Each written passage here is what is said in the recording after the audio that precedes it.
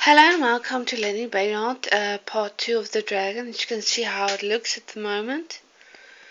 It's always good to keep on using the same three colors or the colors that you're trying to let it stand out. Like the eyes here and the snout, the details. Anywho, uh, use purple, blue, and green for the scales.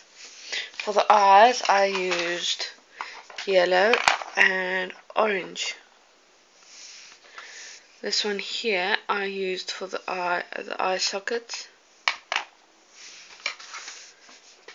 Um, this one is the dark black that I don't barely use, and yeah, I think one, two, three, four, five, six.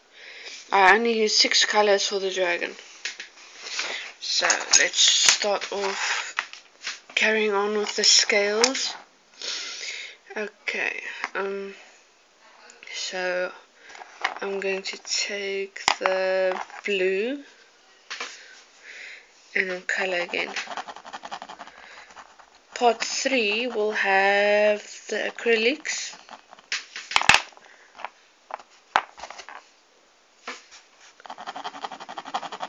I'll use blue. Okay, let's take blue. Okay.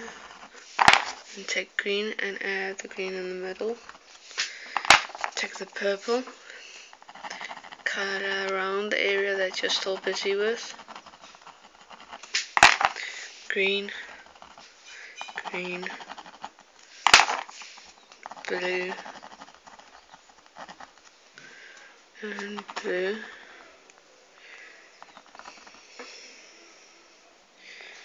Okay, this one's blue at the sides.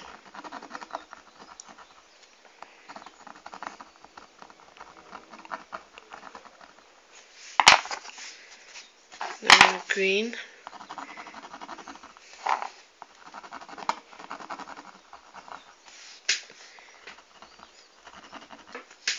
Make sure that you don't leave anything open. Okay, taking the purple again.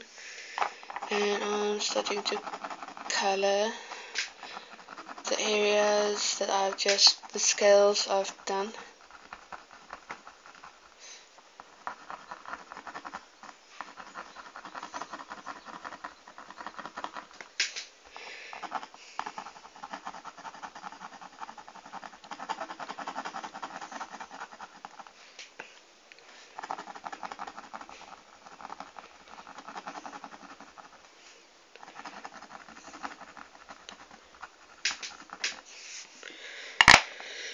Okay, I'm going to take the darkest color like black and then I'm going to outline the eye.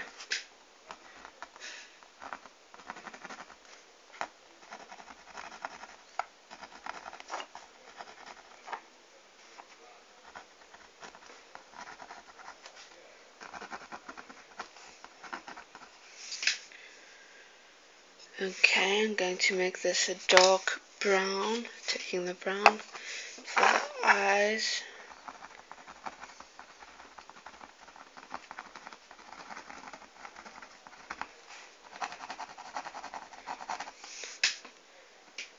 Okay, um, coloring the eyes.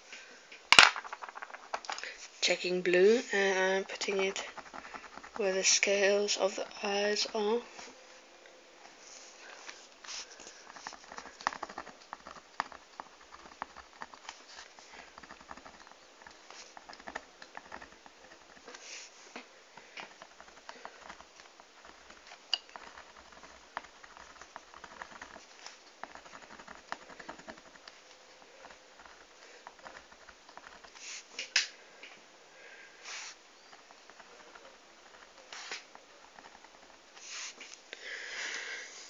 Okay, so that's so far the face done.